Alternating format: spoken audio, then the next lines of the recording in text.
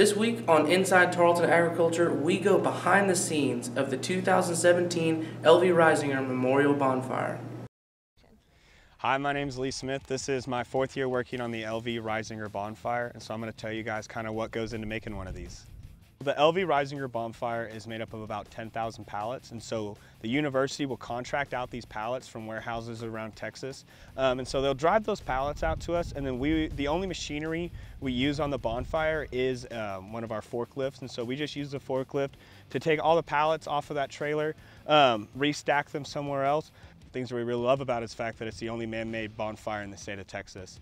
Um, and so we try to keep all the machinery off of it so that we can continue to hold on to that title. The best system to it is that you're gonna have a pallet, you're gonna lay down one pallet, and then you're gonna lay down another pallet, and then the pallet that's gonna go on top is gonna split the middle of those, and so you kinda wanna hang this last one off about a half inch, and so what this does is it retains the complete circle, the shape that you're gonna have of the bonfire. Really the most efficient design that you can have is to do the cake deer that we do. Um, five tiers is really ideal, but uh, four tiers is kind of like a minimum that'll really make it look good.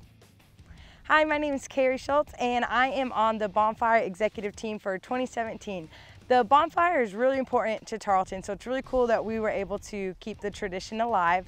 The bonfire is something that's really um, involved in our core values. This tradition has been here for a very long time and the fact that the university put in all the efforts to make sure it still happened and we were able to have over 300 volunteers to come and help out because you can see the importance of still having this bonfire at the university for homecoming.